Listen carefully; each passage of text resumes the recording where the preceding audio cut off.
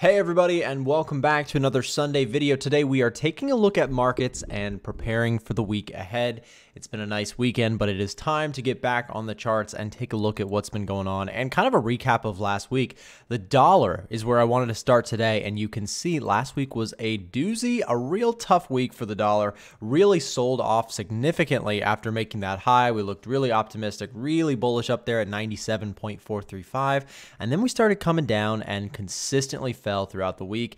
Had uh, not the best sort of uh, reaction to the strong numbers or, or, the strong ECB and Bank of England news, which was very hawkish for those places, which actually put a little bit of a damper on the dollar and brought us down heavy towards the end of the week.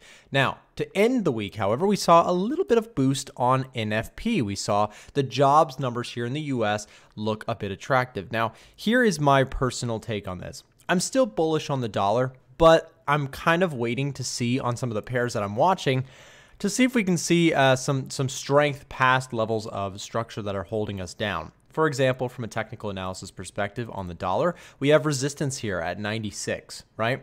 I really would like to see if the bulls are back to see some breakouts this week. If we can get some breakouts, I love the idea of going long um, on individual currency pairs. Now, I'm not necessarily going to be trading the US dollar index. I'll probably be trading, well, I, I will be trading things like, for example, Euro USD. Uh, here's the thing with the Euro dollar. Tough to trade here just because we've seen a really strong move from the Euro off of basically the ECB. They came out and they said, hey, you know what? We're expecting uh, basically a more hawkish outlook in the terms of, I believe they said uh, 40 basis points by December of this year, which is it's a step up from where we were expecting the ECB to be at in terms of monetary policy, which puts a strengthening move uh, on the the euro and a dampening uh, on the U.S. dollar overall. Now, looking at the daily chart just real quick, you can see we are still in the context of a downward trend. This market is still strong to the downside, but we pierced the 100-day moving average. We actually closed above it, and short term, that still looks like it's kind of a strengthening move here for the euro. So I'm not interested personally in taking a whole bunch of shorts on the euro as it was a big winner last week. Uh, although I should say this is a pretty key spot of resistance, and you may see some some uh, some sellers trying to make make moves here. Basically, my opinion for uh, the euro dollar, right, is that if this level breaks, the next area of more interest would be a pop up to 1.155. Okay, so if price starts making its move on up there, yeah, there may be some opportunities to look for shorts on the higher time frames. But again, I kind of want to see the dollar get strong before I jump into a whole bunch of shorts on the euro because of how strong it is moving right now. The euro against a lot of different other currencies was really strong last week.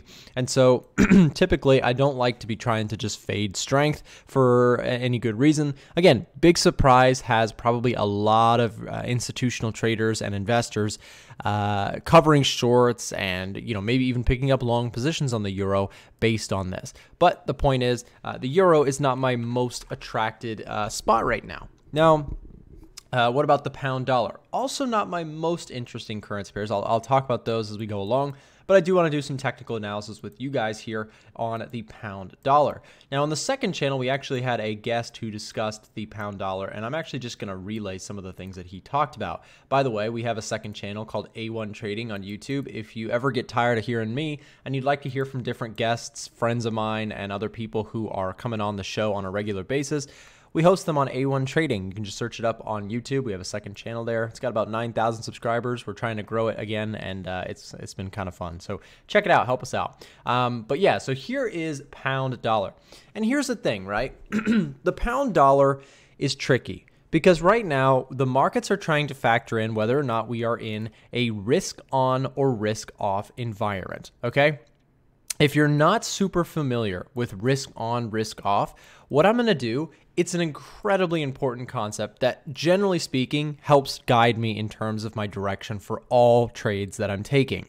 In fact, for example, if I know that overall we are more in a risk on environment, I'm going to be slightly more biased towards buying the pound, uh, at least for the time being in today's current market.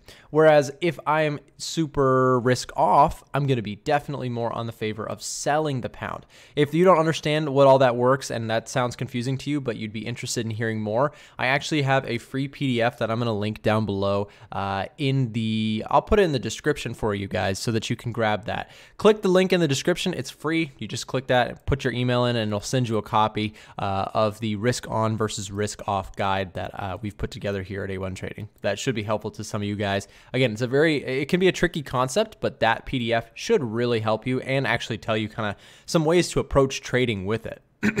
so, right now, we are generally speaking uh, in a mix between risk on, risk off. That's the short answer, and that's my, my analysis, right? Stocks have been falling. They've started to recover. Things are looking okay, but there's still that situation with the, the Russia Ukraine border. Uh, we still just have, generally speaking, a market that is a little bit shaky, and the Fed still seems like they want to rate hike. Well, they, they will be, that's their plan, to rate hike in 2022, which put may put a damper on stock markets at some point or another, which it kind of already has.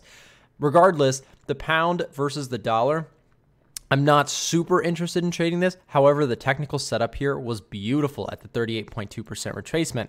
And if we get a retest of that area, there may be an opportunity to look for some decent risk reward to the downside here with the pound dollar. So if markets continue to just trade uh, based on the technicals here and make a move lower, you know, you've got some interesting levels. Of course, a previous low could be a target if you are more of a swing trader, but then you also have kind of our consolidation zone here.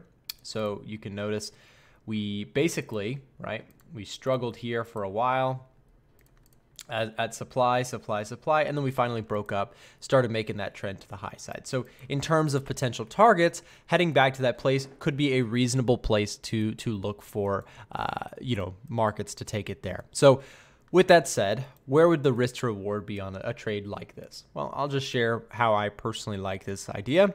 So if price pops up to that area, get a good risk reward here in terms of uh, you know, putting a stop above structure, we have a little bit of consolidation here where we broke out of. So if price starts breaking up much higher than that, yeah, I'd probably bail on the trade somewhere around here. So that's where I would say, hey, you know what? I was wrong about this. I'll take a small loss. Remember, whenever I take a trade, I keep the position sizes small. I'm not here to, you know, uh, take a trade and go all in and say like, oh, well, now we're going to make a huge bag, right? That's not how we're approaching this. It, we're trying to make small and consistent profits over time, not trying to make a one big, you know, run for the for the casino in one go, right?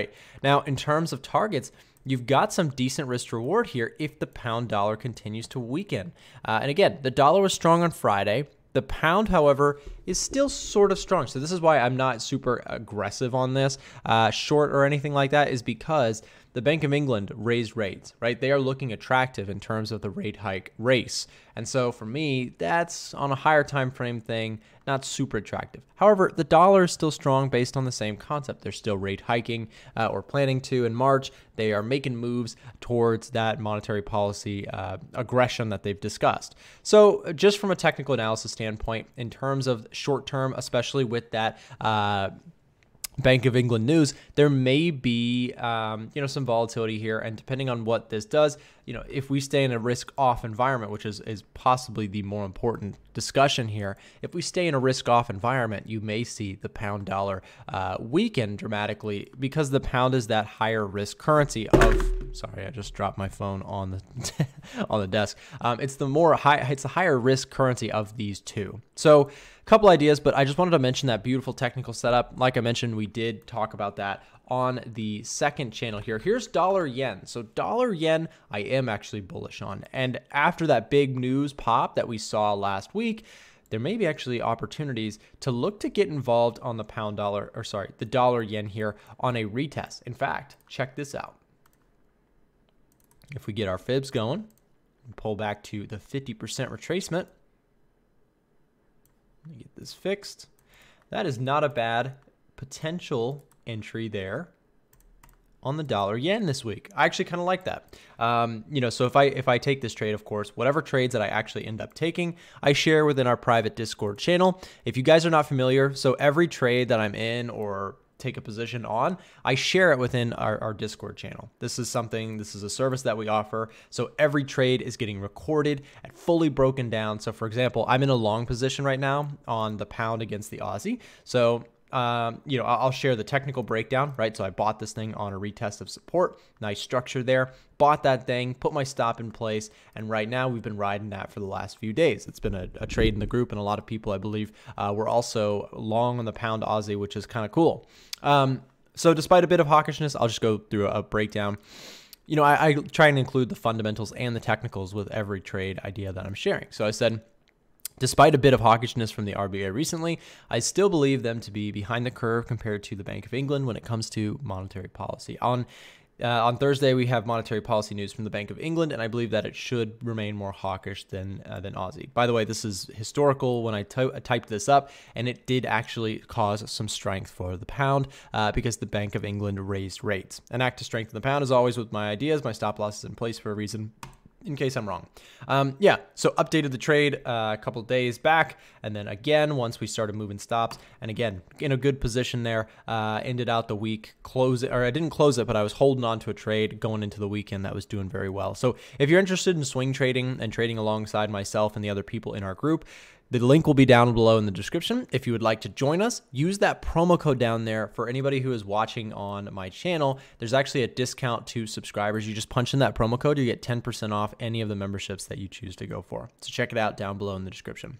Um, you also get chat rooms, you get coaching calls, uh, all sorts of good stuff, educational material. If you're looking to be a serious trader and you uh, you have an interest in joining our Discord, I'm telling you, it is the place to be. We've got several qualified people working very hard to make it the place it is is, and we'd love to have you join the community. So, dollar yen, I am looking at this with a long side bias. Uh, looking at the one hour chart as we pull back, Again, big pop on strong NFP numbers. I still believe the yen to be weak uh, overall, or or more of a sell overall, just to my take. So if we do pull back to that 50%, I may look to potentially enter putting stops below structure, that sort of thing. And I still overall, not in the short term, short term, but I overall think that we could make our way back up to the previous high. We'll pull out to the four hour chart for just a moment here, and you can kind of see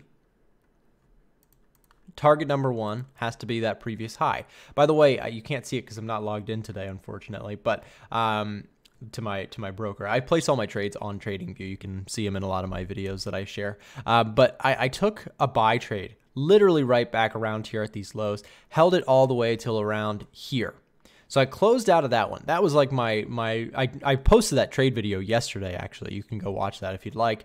Uh, but I closed out of that trade there and then pretty much waited for a while. I would like to get back involved with the dollar yen. And now that we're seeing that strength coming back in, I do want to try and make another stab at it. But I've got to do it at a good reason to do so, right? I've got to see the trade setup that I'm waiting for, which actually I really like that 50% retracement, targeting the idea here of a move back to this previous high. But loosely trying to go for the overall high, right? This is my ultimate kind of target short term for the, or not short term, but medium term for the dollar yen. I would like to see price get up to 116.35, and I think it's very possible uh, overall with with uh, with you know the the hawkish U.S. and that lagging JPY. That's kind of my take on things. Unless things get worse in terms of global outlook, I would expect that to be reasonable uh, to happen in the next several uh, several weeks to months in the dollar yen. So that's my take there. Uh, another quick one is dollar Swiss franc. Let's take a look at this one together. So I am bullish on this one, but uh, not so easily going to get involved on this one because it does it does seem like it's already made its move. It came back, found support down here at 0.9180. So this is another pending one. But if we do get something like this, for example,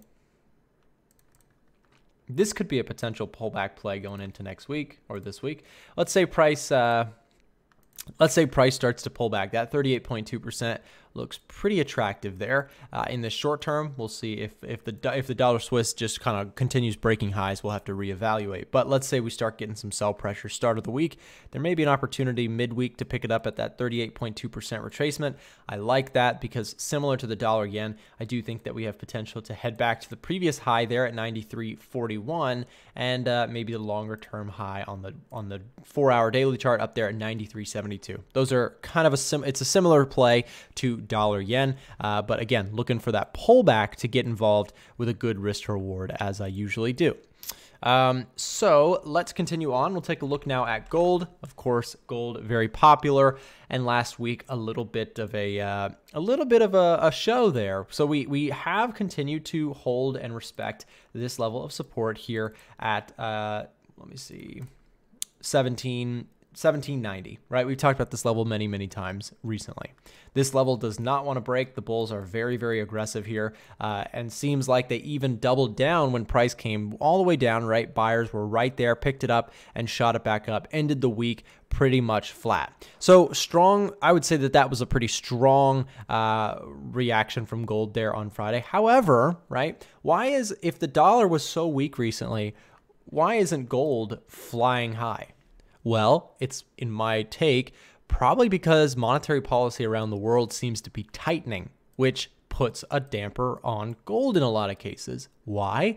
Because if banks are raising rates and econ- economies are, are looking stronger and recovering, Gold may be a less attractive hedge for inflation at some point. It may look uh, to be less of a, a, fear gauge, right? Sometimes people make the argument that gold becomes attractive during a, a scary down market.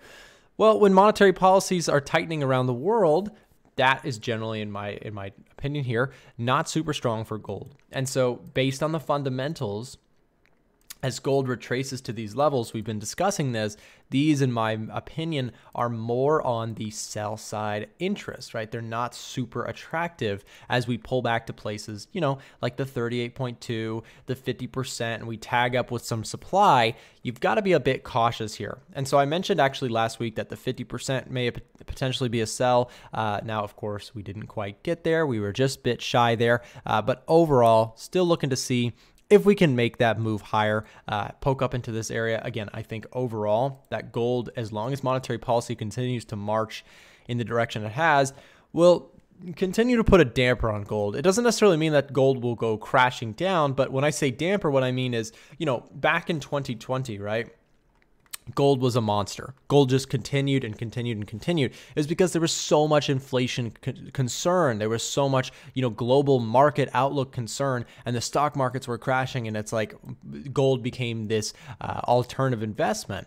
Whereas now we have central banks tightening up. We have stock markets strong overall. It just puts a damper on the interest for gold. Remember we talk about fundamentals on this on the on the uh, channel very regularly because fundamentals are truly what drive the market, uh, and technicals are just a way, in my opinion, to move into and out of the market with good risk management. That's kind of how I structure my trading and how I've structured my channel as well. Just because when you guys hear me talk about stuff, this is genuinely how I trade the markets, how I approach the markets. So that's kind of my take on gold is, you know, sell pressure up in these areas. And then the second level that I discussed recently on, on our content here was this level here up at supply, where we basically broke out of big time. So this was a key pivotal spot. So if price does, let's say, have a strong week and it pokes up into that 61.8, uh, 1830 zone, right?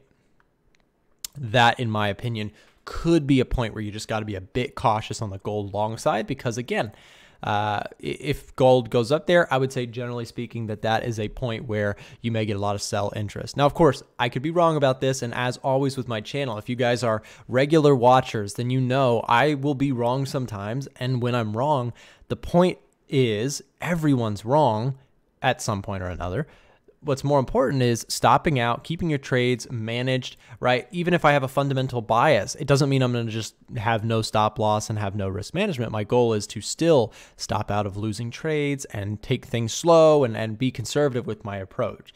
So that's gold. Um, let's continue on. Let's take a look at some yen pairs here. So how's pound yen looking? Well, pound yen, again, I mentioned that we're oscillating between a risk on and a risk off environment recently with stock markets, which we could take a look at a stock market today. That might be fun. Um, you know, the, the pound yen trending higher, making this move, cautiously trending higher, right?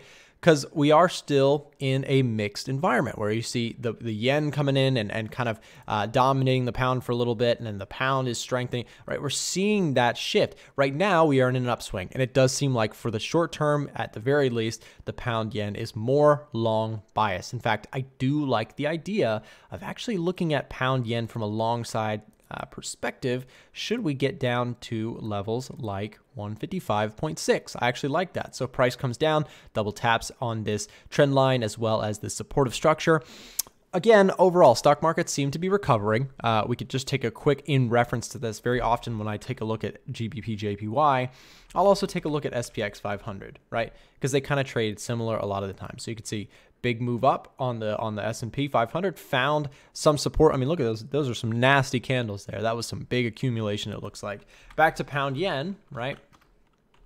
Um, and you take a look here, kind of see a similar structure. We're seeing this market come in and come out of favor, but overall, uh, I think that with stock markets potentially finding a bottom and recovering, that the pound yen upside is actually a little bit more attractive. So, for example, let's say we do get the pullback, we get a little bit of a pop down there uh, to structure something like a stop below and looking for uh, target number one being here on the one hour chart, looking at something like this, right? And then a little bit longer term, of course, we've got the previous high that we could consider as potentially uh, that next spot of interest, which is a ways away. I mean, that's that's a move there of you know, 200 pips. But pound yen is crazy, you guys. Pound yen could just go and go and go. It could go flying up there by the end of the week. You just never know with this thing. So uh, again, the idea, and, and that is the point, right? You just never know sometimes with these these currency pairs when they get really, really volatile. So um, that's why we keep stops and that's why we manage trades accordingly. But again, uh, that's that's kind of what my thought is on pound yen is watching the stock market and playing off of that with the with the pound yen as well, uh, with risk on flowing in or out of the market. That will be the primary focus with me with pound yen. How about NZD JPY? This is an interesting currency pair because the NZD uh, I had someone send me a question about NZD. Um, you know, they said, "Hey, you know, NZD has has some of the highest rates at the moment. Why is it basically getting crushed?" And um, you know, it's an interesting concept. It's an interesting question. But remember that markets are always they're forward thinking. They are going into the future and uh, or thinking into the future because everyone's trying to value not yesterday's actions like oh yeah they raised rates that's cool. They're looking to try and figure out well who's going to raise rates next and who's going to raise them the fastest. So even if nzd has uh, the soonest rate hikes question is are they going to continue to outpace the other places risk reward wise right? People like to invest in big safe places like the us uh, etc right? So if they're going to raise rates that suddenly puts a damper on the NZD, it puts a damper on other places, right? It's all about a race. It's all about competing with one another. And so when we look at NZD JPY, I'm still actually kind of bullish on this currency, especially against the yen. Um, it seems to have found some structure. We're putting in some higher lows. Seems like we put a really clean candle there on the four hour chart. So short term, it does look like it's trying to find a bottom. So truthfully speaking, the NZD may have another turn coming. It just seems my, my cautionary tale there is that with Aussie and NZD, they're, so, they're sort of behind in terms of monetary policy uh, in the race, right? There's these big central banks like Europe uh, the UK and the the US, right, where they are coming out with with strong uh, monetary policy tightening stances, and that has a, a huge impact on other currencies like NZD and Oz, right? Because you put those together it's like where do people want to park their money? The more aggressive a monetary policy tightening stance is, generally speaking, that's bullish for the currency. And so we're seeing the NZD lose out. Now, it doesn't mean that we can't see it, you know, have a have a run back, and there may be some nice technical moves. For example, we're seeing these higher lows.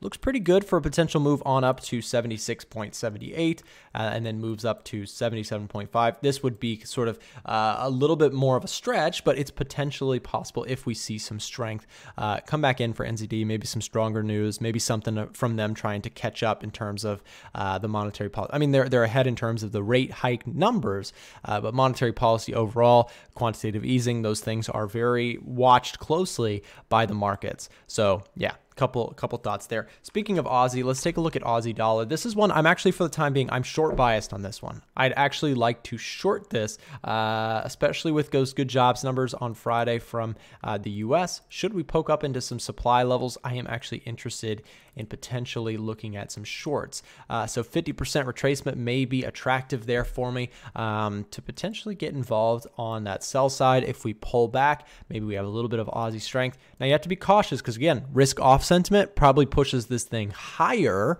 if we get more, you know, super optimism from the stock market, things like that. We would likely expect to see some strength come back into the Aussie against the dollar. The dollar tends to beat it outright when risk off sentiment is in play. But during risk on, the Aussie has a little bit more of a, of a uh, competitive nature to it. But anyways, I like that for a potential short. Of course, any trades that I actually end up taking, you guys will see them within the Discord, as I mentioned earlier. If you'd like to join the Discord, the link is down below in the description. Sign up and join us. Try it for a month if you if nothing else. Just try it for one month. Use the promo code down below in the description. You get 10% off anyways. So take your 10% off. Try it for a month. If you don't like it, then you know no harm, no foul. But again, most people end up sticking with us. We have a lot of uh, members who have been with us for a very long time. So uh, check it out. Link down below in the description if you're serious about your trading. We'll see you in there. Thank you very much for watching today. If you enjoyed the video, hit the like button, subscribe if you're new, and see you next time, guys.